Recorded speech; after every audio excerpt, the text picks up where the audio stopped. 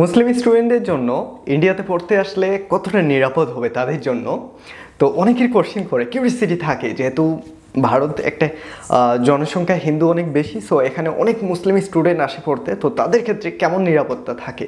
দেখুন যদি আমি এডুকেশন হাবের কথা বলি, যে এডুকেশন সেক্টর যেখানে শুধুমাত্র বিশ্ববিদ্যালয়, সেখানে কোনো জাতিভেদ গণনা করা হয় না, নির্বিশেষ সবাইকেই সমান দেখা হয়। এখানে কে হিন্দু, কে মুসলিম, কে বৌদ্ধ, আর ভারতে বিভিন্ন জাতি আছে সো সবাই এখানে একটা ইউনিভার্সিটির মধ্যেই আসে। হোক সেটা হিন্দু, হোক সেটা মুসলিম, এখানে আলাদা করে কোনো কিছুই দেখা হয় না। সো এখানে সিকিউর ততটাই যতটা একটা হিন্দু ছেলে এবং যতটা একটা অন্যান্য জাতির ছেলে বা স্টুডেন্টরা যতটা নিরাপদ, ততটাই আপনাদের মুসলিম মেজরিটি স্টুডেন্টরাও এখানে নিরাপদ। আর যদি আমি সমীক্ষার হিসাব করে দেখি, তাহলে বাংলাদেশ থেকে ইন্ডিয়াতে যতজন স্টুডেন্ট পড়তে আসে, তার নাইনটি পার্সেন্ট স্টুডেন্টই হচ্ছে মুসলিম মেজরিটির লাইক গত বছর যদি দেখেন এইট্টি পার্সেন্ট থেকে নাইনটি পার্সেন্ট স্টুডেন্ট অবশ্যই আপনাদের মুসলিম মেজরিটির হয়ে থাকে। সো ভাবতেই পারতেছেন।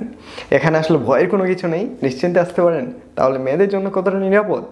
ইন্ডিয়া সেটা জানতে হলে অবশ্যই চ্যানেলটা সাবস্ক্রাইব করে দিন আর ফেসবুক থেকে দেখলে পেজটা ফলো করে সাথে থাকুন। তো দেখা হচ্ছে তাহলে। এরপরে মেয়েদের নিরাপত্তা নিয়ে নেক্সট ভিডিওতে বিদায়।